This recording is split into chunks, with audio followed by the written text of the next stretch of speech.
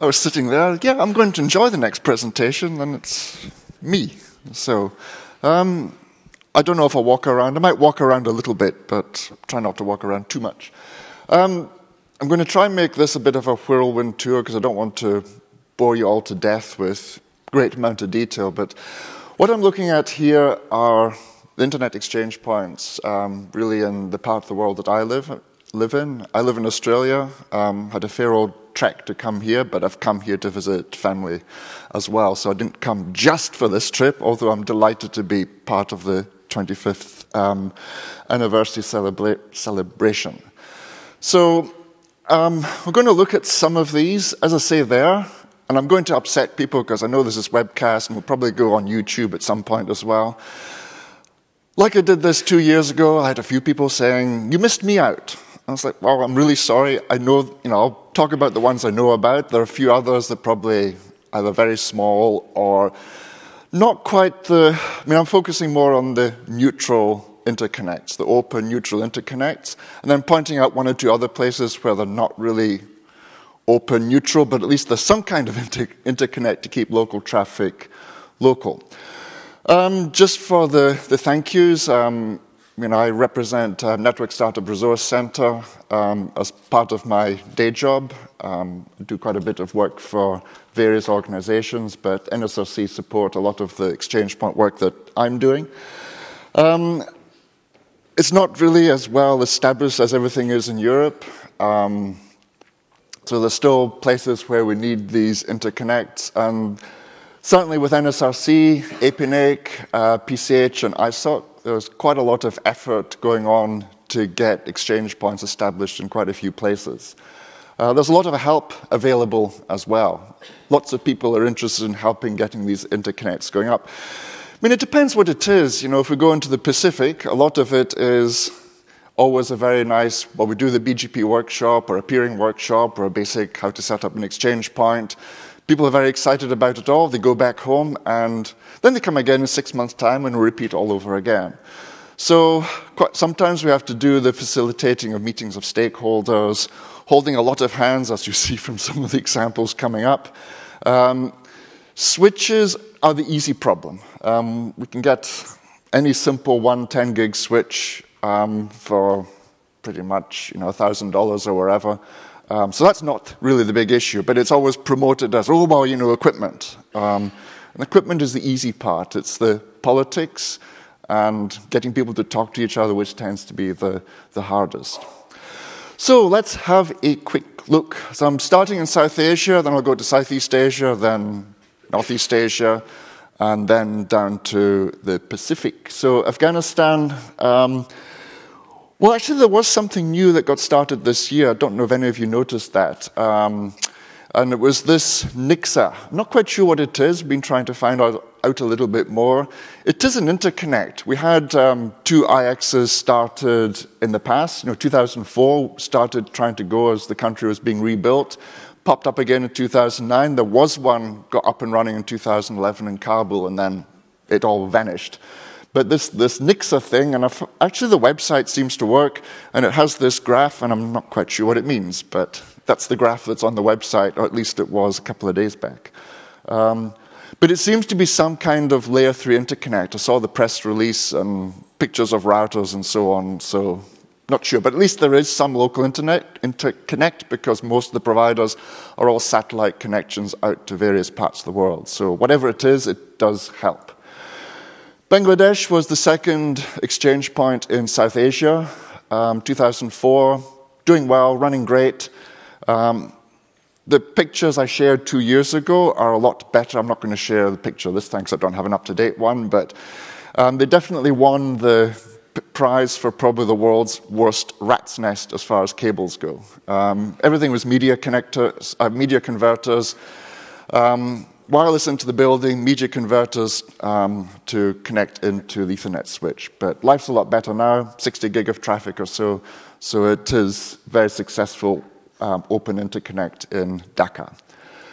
Bhutan, that started two years ago. Um, that was one of the last um, places in South Asia to get an exchange point. Um, seven members, although if you look at the IXP database, it says the 12, so I'm not quite sure why there's a difference, but anyway, there's seven members. Um, aggregate traffic is 600 meg. I included this one um, in here at the bottom. Um, I had to find out the other day what that was all about. And um, the two big operators were exchanging the Google Cache, Facebook, Akamai across the IX, and then they stopped doing that. Um, and so now it's over the PNI instead. So it, the traffic went from 6 gig down to about 6, 700 meg. Um, so it's just between each other. The other members, the, the caches are all shared. That's part of the conditions of the caches coming there because the country doesn't actually have enough traffic to justify any of these caches. So um, that took many years to make happen, um, but we finally got there. Um, that was definitely a challenge of getting people to trust each other to set this thing up. Um, India, I should move swiftly on. I mean, NIXI, um, even NIXI agrees that it wasn't a wild success. Um, they started off with mandatory peering policy, um, and that just doesn't work when you've got three different tiers of providers in the country. Mumbai IX kind of broke that mold, um, started off as the convergence hub. Uh, it's now operated by DE-CIX. Um, we've got Extreme IX, which is basically competing with Mumbai IX now. AMS-IX are partnering with Sify, just to add to the fun, also in Mumbai. You go to Mumbai, you can certainly interconnect in a lot of places. Uh, as for the rest of the country, IIFON, which is the India Internet Foundation, built an IX in Calcutta. It's quite a small one. Um, and they're planning other locations in some of the small cities around India. So, you know, 10 years ago, if you spoke to me, India would be my favorite rant about how broken everything is. Um, but at least things are getting better, um, at least as far as Chennai and, sorry, as Mumbai, Chennai, New Delhi, and so on are going. Um, Maldives, nothing. Two operators. Nepal was the first um, exchange point in South Asia, 2002. Um, 40 members, the two locations in Kathmandu pretty much all local traffic in Nepal goes through the exchange points. You can see about um, six gig. Um, what was the recent event? Was the World Cup or something like that? They went over like 40 or 50 gig or something um, when that was happening. I don't remember the exact number, but it was huge. Um, I think it was the World Cup um, that caused that. Pakistan, um, so there have been trials and failures there. The first exchange point was run by the telco. Um, that wasn't really an exchange. The second one started, failed. The third one, PKIX, uh, launched in 2017 in Islamabad. It was part of SANOG, the South Asia Network Operators Group meeting. Um, they launched it then. Uh, the second site, Karachi, which is the major city on the seaport, um, it's now operational, five members. Lahore is being worked on. The website is out of date, they know that, um, but there are other issues with why that is. So at least something is happening there. Sri Lanka, there isn't any open neutral IX. Uh, Sri Lanka Telecom, sorry, Lankacom run the SLIX, but um, sorry, yeah, Sri Lanka Telecom run the SLIX, but it's not really an open neutral IX. It's kind of more the model of the telco providing an interconnect for their members which, well, doesn't really go into my um, book of exchange points. Um, Brunei, nothing. Uh, Telbru is the main operator. They run an IX, but same story. Cambodia, um, the neutral interconnect is this one, the Cambodia Network Exchange in Phnom Penh. Very pretty graph. Um, I don't quite know what it all means, but I guess it must be the individual members or something without saying who they are. But this, as you see, quite a bit of traffic there um, as well. That's been running since 2008. Um, major sponsors Sabay Digital. It's not like they run it. If you look at the website, it's uh, you know it looks um, genuine, open, good, neutral interconnect. Um, 35 peers and quite a bit of traffic. Uh, Indonesia, a couple of exchanges, at least the the NICE, which is the big one, um, formed in 2010, 700 members. Um, and then there is the IIX, which is run by APJII, which is the TLD operator and um, National Internet Registry for Indonesia. Um, but um, NICE is, is, the big, is the big interconnect.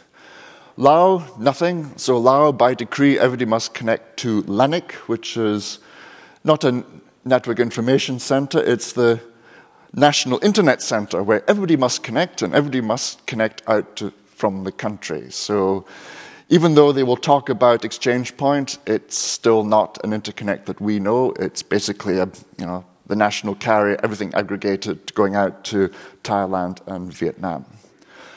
Um, Malaysia, MyIX, long history there, 2006. It's neutral, non-profit, but set up by the government, which again causes some people to pause. Uh, six locations around Malaysia. And then very recently, there's Johor Bahru IX. That's cleverly positioned in the southern city, just across the, state, the strait from Singapore, so they can get everything that Singapore has without the Singapore prices. Um, and that one is now a partnership with DE-CIX, 44 participants, um, and certainly quite a bit of traffic. It's very, very new. They just had their own peering meeting a few weeks ago. Um, what else? Myanmar. Uh, you wouldn't expect, but two years ago there was nothing and no talk, and then suddenly MMIX appeared, neutral, industry owned association, around 8 gig of traffic, um, for membership categories. And again, following what we see as like best practices for website and reporting and so forth. They also facilitate MMNOG, the local network operator group, and the peering forum as well. So they've gone from nobody talking to each other when I was there about four years ago, nobody wanted to talk, to suddenly there's this really vibrant um, local community happening, which is good to see. Philippines, long term, the Philippine Open IX 2011, there was effort at trying to do an exchange point before then, but it really took um, Department of Science and Technology to get one going. Um, yes, it's government, but uh, ASTI runs the R&E network, Research and Education Network for the Philippines, so the exchange point is really part of that um, effort. About 60 gig of traffic, and they've got nodes in Metro Manila and also Cebu, which is a bit further south. Um, there actually are, I mean, I was at PHNOG a few months ago, and there actually are other efforts to set up smaller interconnects in the Philippines as well. So it's not that PH Open IX is the one and only, there are, there are other smaller ones that are now being set up. So traffic levels are about 60 gig, as you can see there. Who's next? Singapore. Yeah, Singapore is massive. Um, it's really the data center interconnect city for Southeast Asia. It forms the interconnect for South Asia as well, because there's no interconnect that you can go to in South Asia. All the operators, Nepal, Bhutan, Bangladesh, India, Sri Lanka, all end up in Singapore, and they all interconnect there. India is missing a massive opportunity, but that's just between you and me here. And anybody else listening, India is mass missing massive. They know it, we keep saying it. Uh, every time we have South Asia Network Operators Group there, we keep saying it, but they're quite happy for Singapore to get their success. So apart from Equinix Singapore, uh, the commercial um, data center interconnect, we've got SGIX, um, which has been running since 2010. And actually, the first one, Singapore Open Exchange, was started by the university, National University of Singapore, um, in 2001. Um, and they started it because Singtel was promoting their IX, which was their domestic transit business. So, two years ago, I talked at length about Thailand. Um, I spared you the picture of the internet of Thailand. Somebody actually draws the graph, I mean, the, the layout of the internet in Thailand. I spared you that this time because, just as well, because the screen's not the brightest or the highest resolution. But basically there, each operator who has an international transit license must run an IX, which is for their customers for local traffic. And anybody else can join if they want, but they don't. So how many international transit providers are there now? Is it 9, 10, 11, 12, something like that? Can you imagine trying to connect to all of them? Of course not. That's why we set up exchange points in the first place. So therefore, we have the Bangkok Neutral Internet Exchange set up in 2015 to try and solve that problem. Um, operated by THNIC Foundation, which, you know, again, THNIC runs the .th top-level domain. They've got two locations in the city. Um, it's the first and only one, but only 27 members because most of the operators are tied into their transit provider and trying to see the value of going to the IX is kind of interesting. About 16 gig of traffic, and like quite a few of the others, they operate their own peering forum every year. Um, it's getting bigger and better. So I think we had about 200 participants at the peering forum in May this year. Um, where else do we go? Timor Leste, uh, no exchange point. The two operators there talking about interconnection at least, so that's a start. We'll see how that goes over the next year or so. Uh, Vietnam, so VNIC, which runs the .vn and also the National Internet Registry, also run the exchange point. Um, there's no NOG in, Viet in, Vietnam, but there is the Vietnam Exchange Point NOG. So there's a VNIX NOG. So anyway, 18 members um, in the three main cities in Vietnam. Um, Access speeds, as I mentioned there, and again, the website has got some of the stats available. What else? China mainland, the CHNIX, not know much about it, but I managed to work out through the website to look at traffic graph there. So that's sort of hitting peaks of 50 or 60 gigabit per second. I think that's, don't know if that's Beijing or if it's um, Beijing, um, Shanghai, and Guangzhou aggregated. Um, I don't know. It's one thing I can't do is read Chinese, and I think I'll need to ask somebody to try and decipher what all that, that covers. But at least there is that carrier neutral interconnect. I believe it's partnering with, with AMS-IX. It certainly was um, a couple of years ago when I last uh, looked at it. Hong Kong, very big. HKIX is the oldest exchange point in, in our region, April 1995. So, not long after LINX, I think HKIX was inspired by what we were doing here in London. Um, hosted and operated by the Chinese University of Hong Kong, um, 322 participants. Uh, the graph is talking about 1.3, 1.4 terabits per second of traffic. Um, there's also AMS-IX in Hong Kong in partnership with HEC, uh, substantially smaller, 54 members, um, and a small fraction of the traffic. Uh, but HKIX, again, apart from the Equinix data centers, is probably the best known of the open IXs. Where else? Japan. Um, I'll leave that to um, our friends who will be following me from JPIX. They can talk more about the local community, but I don't know. Japan is just excellent in general. We started off with wide running, well, what was NSPIXP2, now known as DIX-IE. And then, of course, we've got JPNAP, JPIX, BBIX, and there probably others. And sorry if I miss anybody out there, but those are very, very well established. And actually, you know, these three are very, very supportive of exchange point development across the region as well. So um, it's a very well uh, operated community. Korea, I can't quite work out what KINX is. Um, it is Korea Internet Neutral Exchange, but if you go to the website, the exchange point seems to be like what they do 5% of the time, and it's cloud services and China gateways and goodness knows what else for the rest of the time. But it seems to be looking what we do, uh, well, like what, you know, as a proper IX, as opposed to KIX, which is just Korea Telecom's transit business. Um, but KINX certainly, and they, you know, they come to exchange point meetings and talk about the interconnect. Um, Mongolia, no, that's another long story. Mongolia Exchange is called the Mix, and the Mix is probably the history, a bit of a mix. We started off with Mix, which was static routes. Um, OpenMix was created through neutral interconnect by a few ISPs, um, and that, you know, 6509 and so on, it was running quite nicely. But then the government and the regulator said, no, no, no, no, government needs to do this. So it all moved into the National Data Center and became a very closed mix. Um, as Curtis knows, when we tried to go and visit, we were told that we couldn't get to see it. Uh, we did some um, uh, maps of the LAN and discovered all kinds of interesting Windows servers sitting on the Exchange Point LAN. So we have no idea what it was even then.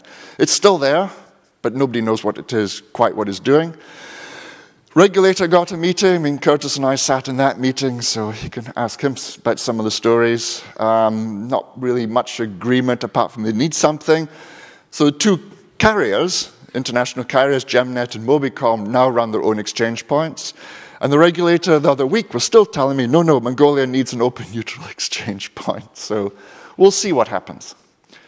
Um, Taiwan, TWIX, um, 1997, and then more recently the TPIX, but again, the two fairly well established interconnects there. Um, where else? Okay, into the Pacific, Australia. Um, IX Australia, non-profit organization, um, runs the exchange points, or some of the exchange points in Australia. I've missed out others here. Um, but it's non-profit, carrier, commercial, neutral, runs, started off with the Western Australia one. That's the historical, well-known one, 1997, and then have set up other exchange points in other states around the country. Um, so capacity up, capacities there up to 100 gig. There are also smaller ones, as Edge IX has just started up, but there's not really much info on the web page, and a few other small efforts as well around the country. But very much IX Australia is the, the exchange point operator um, that we have. And just for quick advert, you know, IX Australia is actually one of the, well, partly hosting uh, the Apricot conference in February next year in, in Melbourne, which is our big uh, regional internet operations conference. Um, Fiji, ah yes, established last year, 2018. It's not open, it's not neutral. Um, it's at the cable landing station. How open and neutral is that? You can't get in. Um, it's owned by Fintel, which is the international carrier. Um, it's you know on the far side of Suva, the capital. Facilitated by the Telecom Authority of Fiji. The only website is that, which is an announcement that there's an exchange point. There's no info. You can't really find out much about it publicly um, unless you know the people there. It's only for Fiji ISPs, so the five um, operators, no, sorry, four operators. Three of them are owned by the same holding company. Um, so Fintel, Telecom Fiji, Vodafone Fiji are all owned by ATH. Um, and then there's Digicel, which is the competing mobile operator. Um, with Persuasion, we got University of South Pacific in there, which is the biggest bandwidth consumer in Fiji. Um, so they're the non-telco member. And I'd heard that there were the IPTV providers were also going to join the IX as well. The neighboring islands, I, put in the map of the, that area of the Pacific from ITU just to show the fiber systems. But, you know, Vanuatu is here. Can Vanuatu join the Fiji exchange? Nope. Uh, Tonga? No. Tonga's down at the bottom right here. Can any of the Samoans join? Nope. So we have issues to address there. Fiji really doesn't want to be the center of the Pacific, no matter how much the government says. They do want to be the center of the Pacific. So work is needed there. Great shame about location choice, but that's how it is. Guam. So Marix was established in 2018, hosts the University of Guam because there's no neutral data center. Um, and again, I put on just where the fiber goes. So Guam is center of everything. But the fiber just goes straight through. There's very little breakout and very little incentive to break out. Getting a cross connect across the island, at least a couple of members of the audience here know, is massively expensive because the incumbents pretty much say, how much could we charge these people? Um, Docomo hosts and operates the GUIX, but it's not open, obviously. It's Docomo, the carrier and, and not neutral either. So it's only local operators are in there. It's kind of a shame. There's so much potential for Guam. There is an R&E exchange as well, so the research and education networks want to interconnect there. The infrastructure's there, getting cross-connects across the island is another story. Great shame, but it, it'll happen eventually. New Zealand, New Zealand is actually very interesting. Um, you know, it's again one of the early interconnects being all set up. So NZIX was operate, well, is operated by CityLink. Um, so they run the ape, the WIX, and the CHIX. Um, New Zealanders have a good sense of humor about choosing names for the exchange point. I'm going to stop there. There are others that I can't um, repeat here. But anyway, the, these three, um, decent amount of traffic, have been around there for a long time. But more recently, we've had um, IX New Zealand come in, non-profit, carrier neutral IX from 2016. They're in Auckland. Now, the main difference between the ape, the ape is in the telecom tower in Auckland. So you know the BT tower here. Imagine putting an exchange point at the top of the BT tower.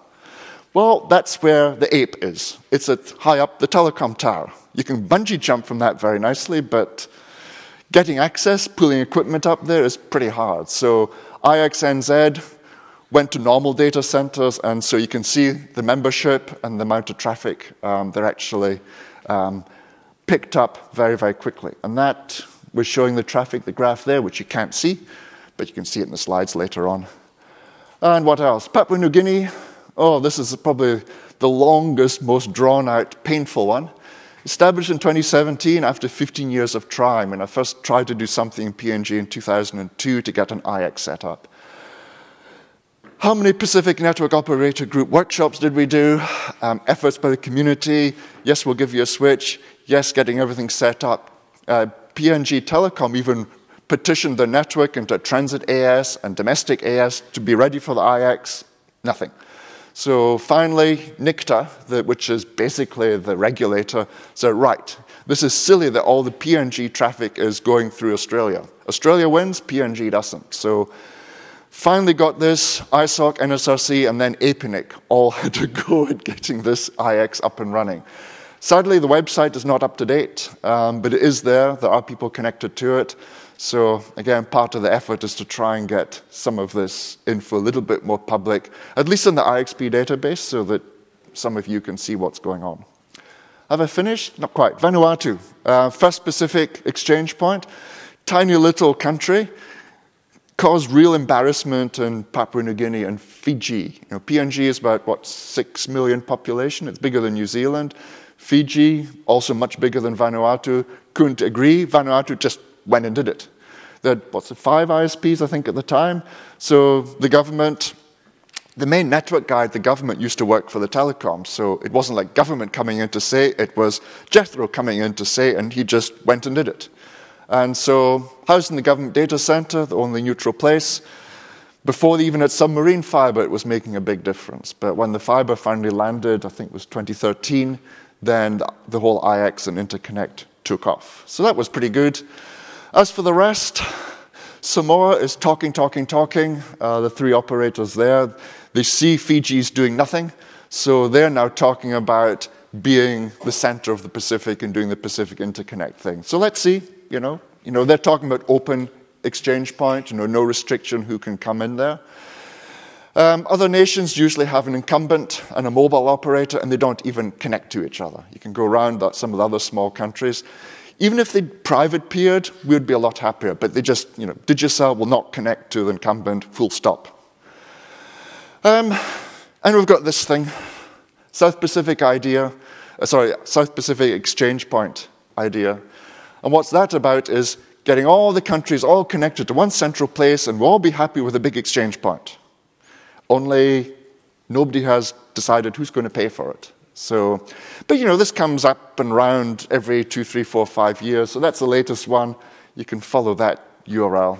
And yes, anyway, Pacific is very big. Um, I mean, I live here. The UK would fit in about there. So it's quite a large area to try and cover, but huge amount of submarine fiber compared to probably even five years ago. So there's certainly the obvious opportunities for interconnects, Fiji, uh, Samoa, of course, Hawaii way up there, Guam way up there. Uh, again, where submarine fiber meets, but trying to get the operators to think about interconnecting there as well is still an ongoing challenge. So as you can see, an Asia, sorry, a South Pacific IX kind of, I don't know, doesn't make a lot of sense to me. That's it. Um, usual acknowledgements. Thank you to NSRC for supporting some of this. Curtis has traveled a lot of places with me, so he knows some of this part well. Of course, FTAB and Jane at ISOC, PCH. Cisco helped me do a lot of this years and years ago, and APNIC did as well. So thank you all very much. Hope it was interesting. Hope the tour was fast enough. I can leave you to the next one. Any questions? John? Why was the traffic always 60 gig? I kept noticing as you Don't know. I don't know why it was always 60 gig, but it just seems to be. I mean, there. I suspect a lot of it might be to do with caches. You know, the Google cache, Facebook cache, Akamai, quite a lot of exchange points. The operators, or we will encourage the operators to share the caches across the, the IX. So that could be a story behind some of it. Yeah. Okay. I will run away. Thank you all very much. Thank you.